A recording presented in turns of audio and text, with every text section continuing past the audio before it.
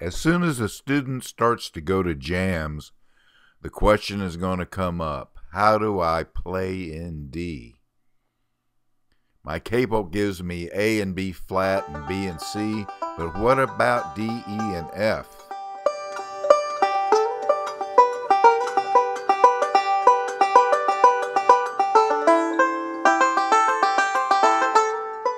After a year, most students already know how to play in every key. They just don't know that they know.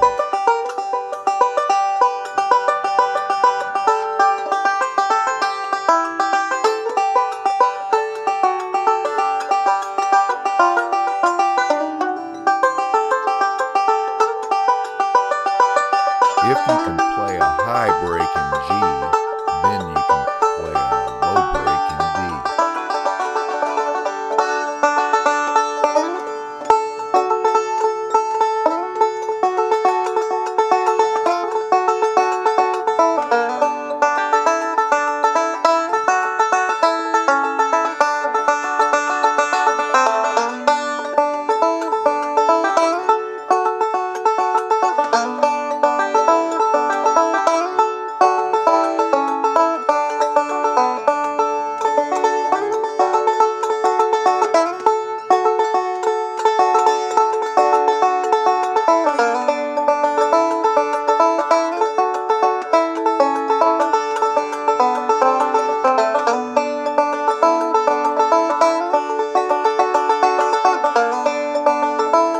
And with a capo, you can play in any